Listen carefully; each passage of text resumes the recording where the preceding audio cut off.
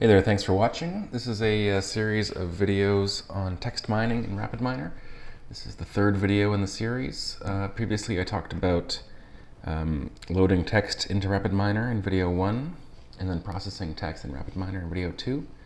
And today I'm going to talk about word vectors, uh, frequent word sets, and association rules. And my name is Neil McGuigan, and you can visit my blog at vancouverdata.blogspot.com. So what I'm going to do is um, I have a data, database of uh, job postings from a popular job board. Uh, they're all in HTML like this, and there's about 400 of them. And what uh, we're going to do is uh, load it in, process it, and then look for uh, rules that are common in all the documents. So for example, we found this one here where uh, positive team player um, is a pretty uh, common uh, set of words. Okay, and there's a bunch of other ones as well.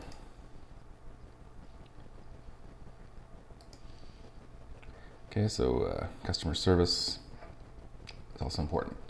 So I'm going to show you a, a step through the, the steps into uh, to figuring that out. Okay, so the first step is um, is to read the database Okay, it grabs uh, 400 uh, rows, uh, one one text field, and each row is a uh, is a document from the job posting board. And then we can use the process documents from data operator. Okay, and double click to go inside there. What we got is the extract content uh, operator, which is from the web mining plugin in the HTML processing folder, and that just strips out HTML and leaves everything else. Then tokenize uh, splits the word into, uh, splits the document into words. And we put everything in lowercase so that it can find uh, similar, similar words. Filter out very common words, and then filter out uh, single character uh, words. Okay, now in the process documents from data uh, operator, we want to create a word vector. Okay, so what that means is um, if you have a document with, say, 10 words, it'll uh, create one column in a table for each word and then put a zero uh, or put a one for that uh, word if the word exists in that document. And then it does that for every document. Uh, and then it puts a zero if that word's not in there. So I'm just going to run through it and show you. Okay, so we had 400 examples, which are the 400 documents. Okay, and it's created 2,611 attributes, which are the columns in the table. Okay, so each um, column is a word from one of the documents. Okay, and then it puts a one if that word exists in the document and a zero if it doesn't.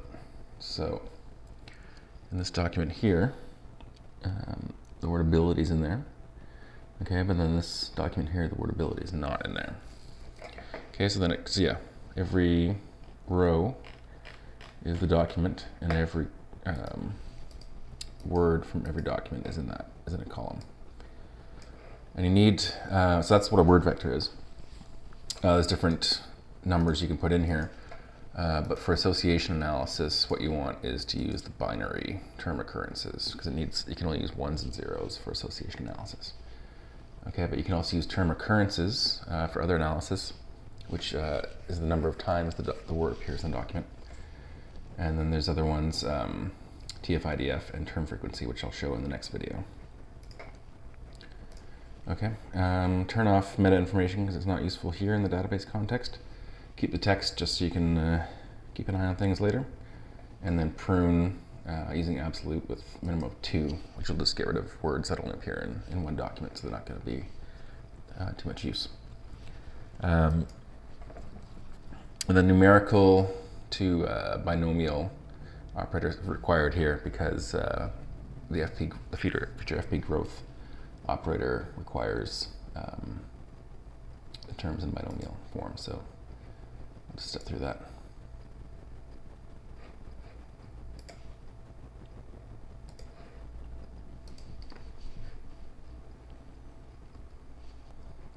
Okay, so it's turned everything to binomial, which means it's now true or false, which is what the FP growth operator wants.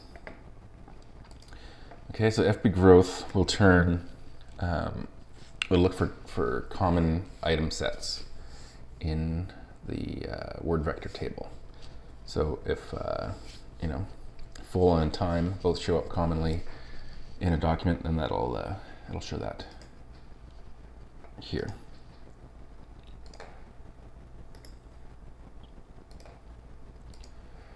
Okay, so generally it's a good idea to have the find minimum number of item sets.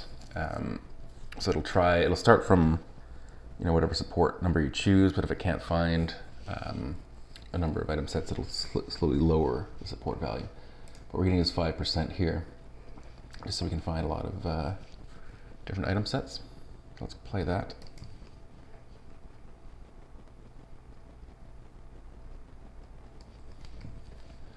Okay, so this is the frequent item sets um, results. So what you see here is support. Now support is the proportion of documents that include the item set. So the word please appears in about 60% of all the documents. Okay, you can scroll down here a bit.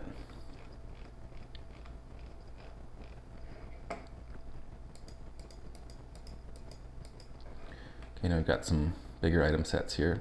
So we got please experience. So please and experience occur in about 40% of the documents. So that's one item set with, uh, with at least two terms.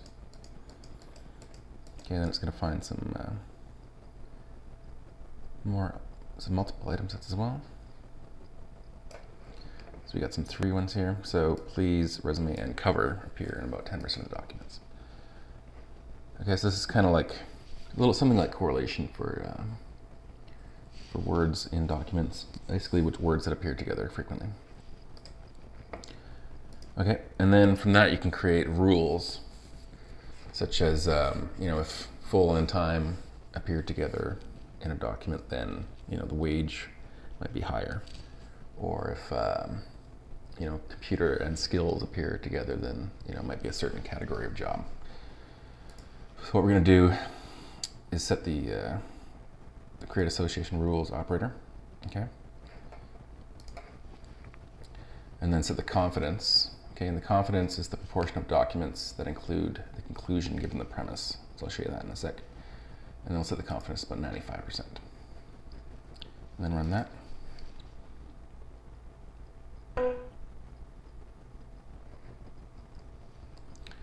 Okay, and here's the results from the association rules. Um, just found about 720 association rules. Okay, so one of them example is position years and experience often occur together. Okay, and then what you want to do is basically look for interesting ones. So one measure of interestingness is lift. Okay, so work and fast paced, or work fast and paced uh, often occur together. Um, you know, lower mainland, that's basically uh, what uh, part, what they call a larger part of Vancouver. You know, email cover letter. And then you can also basically filter it by the conclusions. So fast and paced comes with work, okay? One interesting one is team. So they, um, you know, job uh, job posting people on on the website are looking for you know team players that work in a positive uh, environment. Okay, you can also look at a graphical version of these rules.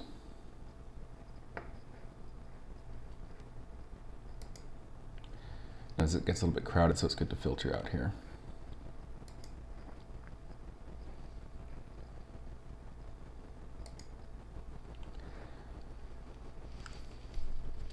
This is, the, this is called the ISOM layout. There's other ones too, such as circle, to look like that. But ISOM's uh, nice and compact.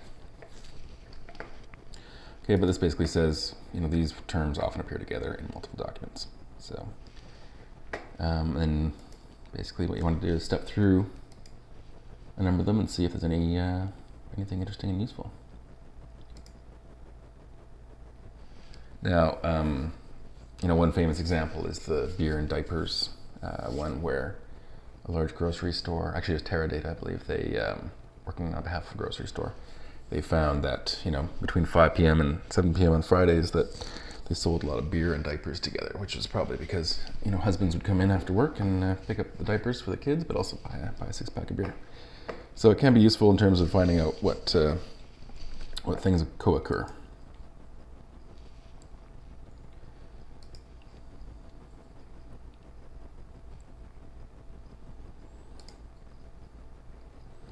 This one's a little bit crowded. I'm just going to up the uh, confidence criteria.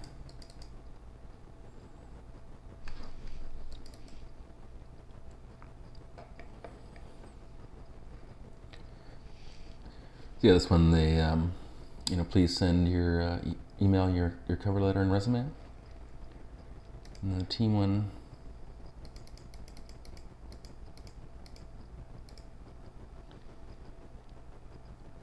Okay, so that's basically how association rules work. Uh, next up, we're going to look at, um, next video, we're going to look at document similarity, calculating the similarity between documents.